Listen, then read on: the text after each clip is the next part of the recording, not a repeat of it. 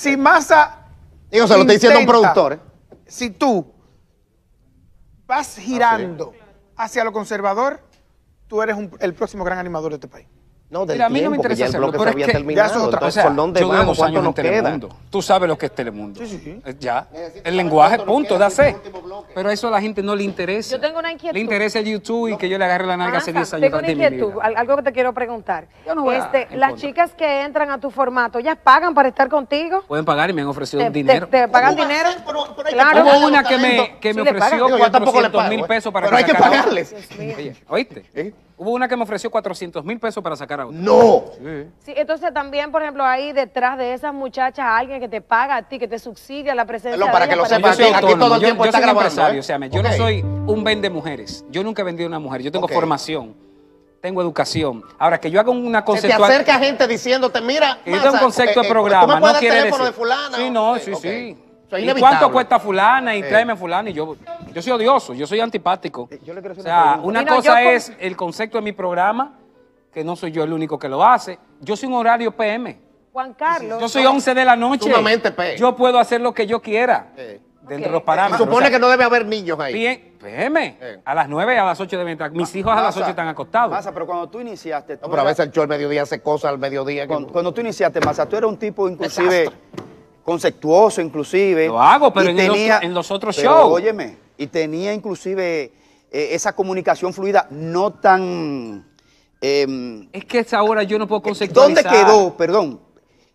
Pero tu, No moral- pero tu puedo, pero no ética y tu moral, tú la metiste en un saco donde la amarraste y dijiste, el dinero más Están en importante. los otros dos shows. No me has escuchado. No me Pero has es- pero, pero, pero, ¿dónde es quedó que ese- Grimer, mira que lo que es que pasa. es lo que vende O ese sea, o sea, morbo. Tú podrías ser... Pero aquí el asunto no es, no es masa, ¿eh? Yo creo que estamos analizando mal el asunto de la Pero televisión. no, y la- no, no, No, pero está bien, me gusta, me no, gusta. porque él I es el individuo I que like lo hace. Él es, él es Yo- que lo hace. es que yo, Pero puedo que- promoverlo Yo no pedir que lo haga. Es que me van a sacar del No, tema. no, me no oído. escuchaste. Él No dijo, me has escuchado. Él dijo, yo tengo valores, yo tengo formación. Yo lo sé que sí. Y lo utilizo donde no- debo de no, no, utilizarlo. Si él tiene valor y formación, tú no puedes Yo no puedo venir a las 12 de la noche a hablar de José Martí.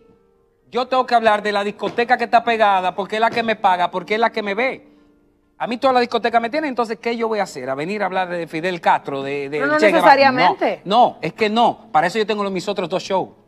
Es que no tengo que hacerlo ahí, no debo hacerlo ahí. Eso es, eso es como que tú le pidieras a Porcel que viniera a hablar de comida en su programa, o a Benny Hill en los tiempos. Y que se levantaran de la eso tumba. es un Bueno, concepto. La promo de Benny Hill, eso es lo que el Eso público es un quiere. concepto. Caras nuevas Nueva. y ponían una nalga. No, Ah, él, en él los 80. tocando Él la nalga. Ah, entonces, esa cuádruple moral. en- en- en cuádruple principio de los moral 80, que finales de los vive acá. 70. Una de las cosas que Y sí- por ser ni hablar. Cuádruple moral. Miren, Aquí- aquí O sea, no hay señalar. ninguna línea que podamos respetar. Yo a las 11 de la noche no tengo líneas. La que tú quieras, La claro que que yo sí, quiera. todas las líneas hay yo para puedo hacer lo que. Al revés, yo no hago nada.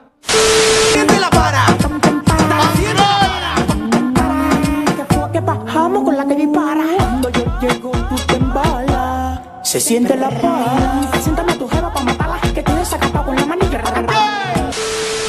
Además si hay una línea que puedes respetar todas, las que tú decidas. Y las que tú decidas las transgredes. Es- estamos en una sociedad que nos permite eso. Pero además, la cosificación y la, y la, y la carne, carneli- carnelización de la mujer no es nueva tampoco. Porque aquí, en el show del mediodía...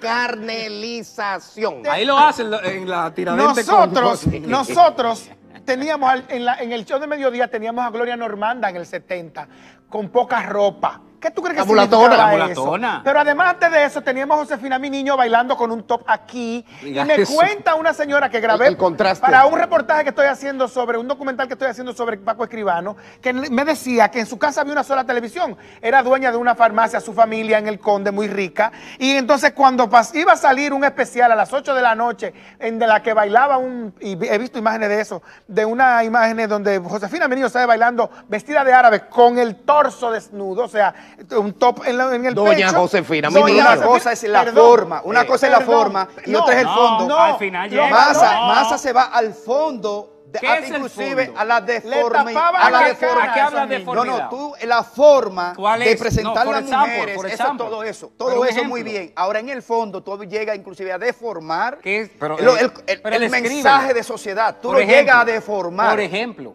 Esas cosas que ustedes hacen. Porque es lo hacemos. de- de- ¿Cómo llamar a la mujer? ¿Cómo llamar a la mujer? ¿Cuándo fue la última vez que tuviste cero estrés? Hace un, No, pues unas ya. cuantas noches. No, no, no puedes eh, eh, eh, señalarme así. Hace unas cuantas noches. ¿Cuántas noches? ¿Y qué había?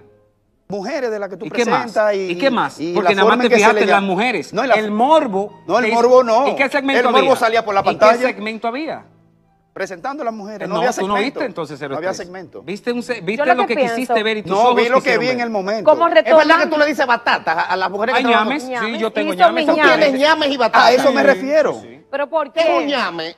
Eh, el estereotipo ñame aquí se da vuelta Una mujer que no tiene estudia, cerebro. que no quiere, no, yo diría que no es que no tiene, es que no Ok. lo quiere usar. Que no lo quiere Que usar. no lo quiere usar, Algunas porque no lo tienen. todo Pero Pero es que yo lo veo cerebro. discriminativo, Masa, de alguna forma. Ay, tú bueno, pero utilizas, claro que sí, tú utilizas ¿Está a de acuerdo, mejor que le digan falta- batata? Una- No, él utiliza de alguna manera la falta de instrucción de una mujer que por X razón está en tu formato de tu programa ahora. para Ah, exhibirla óyeme. y a través de tus términos Hace- ofensivos engrosarte ¿Cuáles son a una términos audiencia. ofensivos? ñame, batata, Eso no es decirle bruta, A mí tú me dices ñame, y discriminarla amor y mío, tú quieres a mí más. tú me dices ñame y no me Porque sirve tú sabes que no lo eres. No lo soy. Pero si lo eres, si eres- si lo eres, es ofensivo, Mi programa tiene 15 años, va a cumplir ahora. Si eres rechazo. un ñame, te Oye, ofenderías. Sí, Es sí, que no. claro, A lo mejor. claro. A, a- a lo mejor ni me entiende que le dije ñame. Pasa, ñame eso es retórica. Ah, a lo mejor creen que la están elogiando. A lo mejor.